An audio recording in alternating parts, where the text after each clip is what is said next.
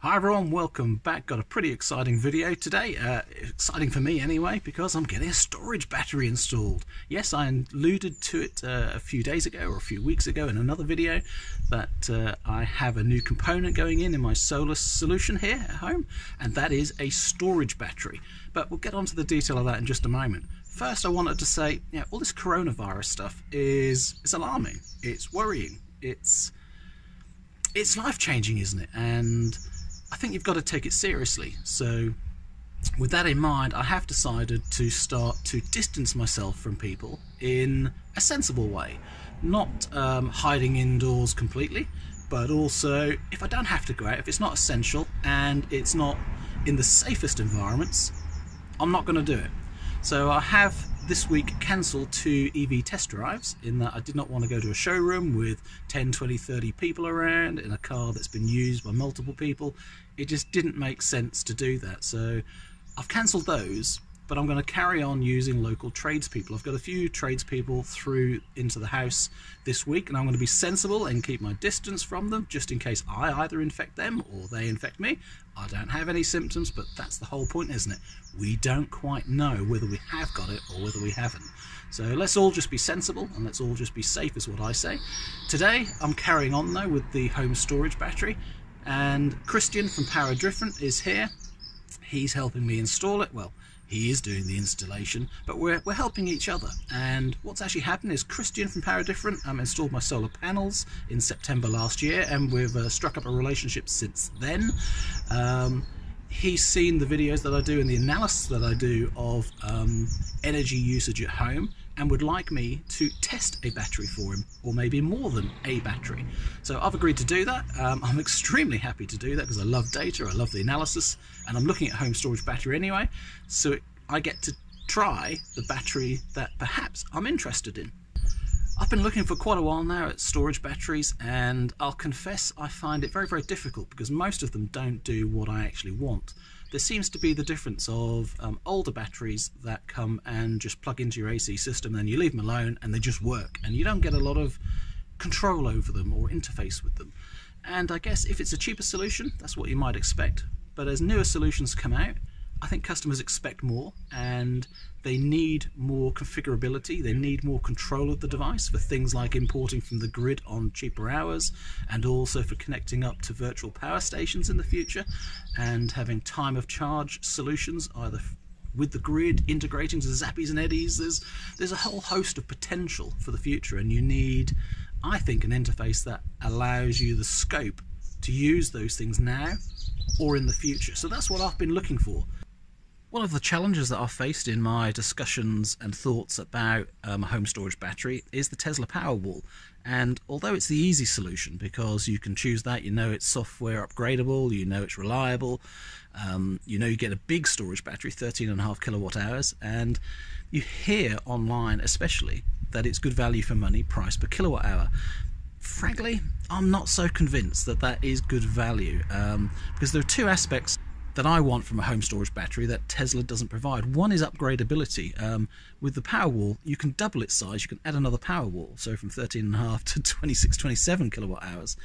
But you can't add it in two or four or six kilowatt hour gradients. So deciding how big a battery you need is, I'll just have that one. Then it's plenty big enough. And but it might be bigger than you need, um, or you might want to expand afterwards. So for me, the Powerwall isn't as granular and isn't as upgradable as I would like.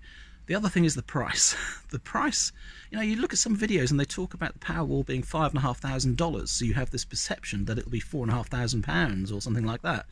And yes, that's an old price for the older battery perhaps, and the price of the battery's gone up. But also here in the UK, it's not a direct dollar to pound comparable. It's actually as expensive. So to get the Powerwall 2 installed here, which has to be with the gateway, it's £10,800. It's over 10000 with just about any installer. And that's a heck of a lot of money, even for a 13.5 kilowatt hour battery. So I've been researching things like the Pylon-Tech batteries, which are a much cheaper Chinese brand battery. Um, they come in modular sizes of either 2.4 kilowatt hours or 3 kilowatt hours And I've been looking at adding to that a hybrid inverter that provides the intelligence, the interface that I need. So each battery on the Pylontech side comes with its own battery management system, and that manages the voltages and the spread of power across the batteries. So that's all good. But then the inverter provides the interface for timed charging from overnight, for visibility and monitoring, those sort of things. So I've been looking at something like the Lux um, inverter going with Pylontech batteries. And that was where I was until I saw this device. The Pure Drive device. This is a um, all-in-one solution, just like the Powerwall. So the inverter's inside the box along with the battery storage. It's a UK built, UK manufactured UK company. It's, I would say, new to the market, but it's new to me in the market. Um, they've been around a little while. Um, they do both commercial and residential, but I don't think they're that well known. And what I liked about this solution is the software interface. It does look like it provides all the data I want, all the graphs I want, and all the controllability that I want in a very easy fashion. So this Pure Drive solution, actually came about at a very good time because I'd only just seen that the interface looks really good. It's rumoured to be um, very, very affordable. There are price drops on the way for battery storage, apparently, and and it comes along with the hybrid inverter all built in. So, so far, this looks like a real contender for me. So I'm extremely grateful to Christian from Power Different for helping me get to evaluate it. The battery that's being installed today is 5 kilowatt hours or perhaps even 4.8. Um, but what I can see from inside the Pure Drive cabinet, it's all in one. The inverter in there is actually a Victron inverter, so it's a really well known, good make as well.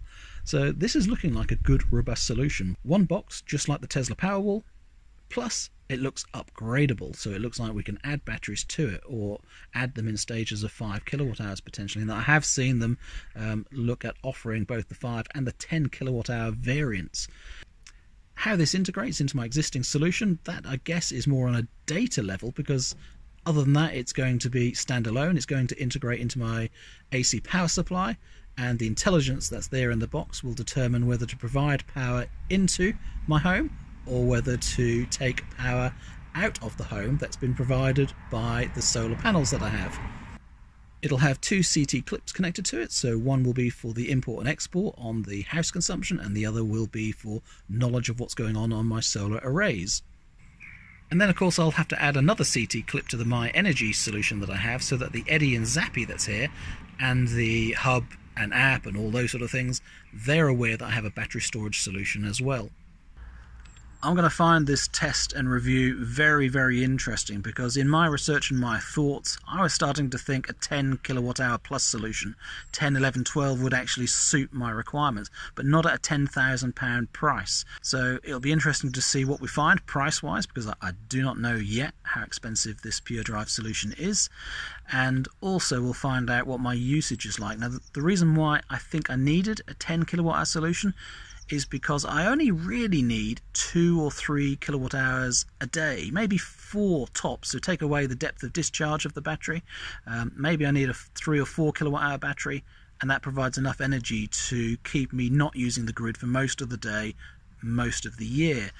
What it doesn't provide me is that flexibility in that the bigger the battery you have, so if I double the size of this Pure Drive solution up to 9.6 or 10, whichever it is, then you do get more throughput, you do get more power. But equally, in the winter time, from when I've had a sunny day, what I want really is to be able to store enough energy on a good day to last two or three days.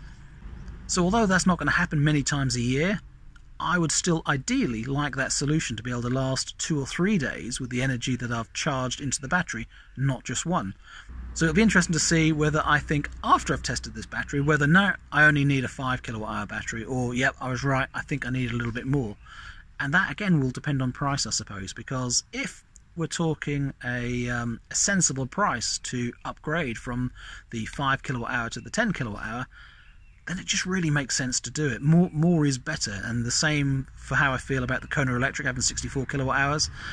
300 mile range and 64 kilowatt hours is absolutely fantastic, but I wouldn't say no to 74 kilowatt hours. Um, more is better. Is better. It gives me more space to store more energy, gives me more flexibility, means I don't have to charge as much out. It just makes your experience of the electric car and the home battery solution better if you've got more storage. So it's less of a compromise. So that's all for now. Um, I need to get back and find out what's actually going on with the install because it's happening right now, and uh, more videos to come, hopefully, as I learn more about the solution. As always, thanks for watching, thanks for subscribing. I hope you find this video useful, and the ones to come, of course. And fingers crossed, the price is affordable. See you again soon. Bye bye for now.